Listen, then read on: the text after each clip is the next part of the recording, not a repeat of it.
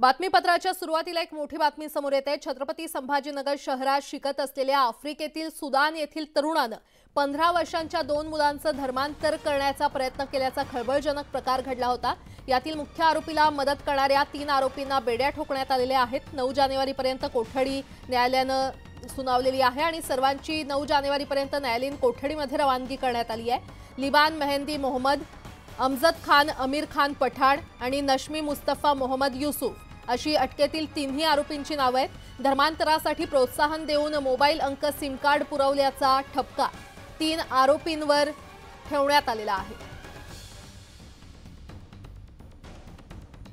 आणि या संदर्भात अधिक माहिती देत आहेत आमचे प्रतिनिधी अविनाश कानडजे आपल्यासोबत जोडले गेलेले आहेत. अविनाश.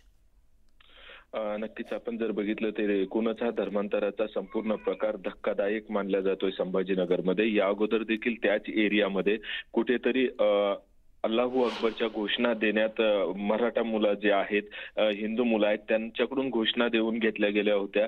त्यानंतर पासूनच हा एरिया खरं तर पोलिसांच्या रडारवर होता. मात्र मागच्या आठवड्यामध्ये एका ओसामा नावाच्या मुख्य आरोपीने जो की सुदानवरून आफ्रिकेच्या सुदानवरून शहरात आला होता त्यांनी दोन मुलांना धर्मांतर करण्याचा प्रयत्न केला. मात्र वेळेस ते मुलं त्या ठिकाणून पळ काढल्यामुळे ते त्यातून वाचलेत. मात्र ज्यावेळेस जर कालची अपडेट आपण बघितली तर ज्यावेळेस पोलिसांनी त्या सुदानला मुख्य आरोपीला ज्यावेळेस सुदानच्या ओसामाला ज्यावेळेस विचारणा करण्यात आली की तू असं का केलं? त्यावेळेस त्याचं एकच उत्तर होतं संभ्रम निर्माण करण्यासारखं खरं तर हे उत्तर होतं की माझ्या आतला जो सैतान आहे त्या सैतानाने मला हे काम करायला भाग पाडलं आणि त्यातून मी ते केलं. त्यामुळे पोलिसांच्या तपासामध्ये संभ्रम निर्माण झाला आणि तो संभ्रमित करण्यासाठी असले उत्तरं देतो असे पोलिसांचं मत होतं. मात्र ज्यावेळेस आता पोलिसांनी कसून चौकशी यामध्ये जर दश दहशतवादी विरोधी पथक. एटीएस सुद्धा यामध्ये कार्यान्वित आहे. एटीएस सुद्धा कसून तपास या संदर्भात करत आहे मात्र आता यामध्ये सर्वात मोठी अपडेट अशी आली की अजून तिघ जण या ओसामाला मदत करत होते. सिम कार्ड पुरवणं असेल किंवा अजून कुठल्या गोष्टी असेल हे संपूर्ण त्यामध्ये ते त्याला मदत करत होते. त्यांना देखील ताब्यात घेण्यात आलंय.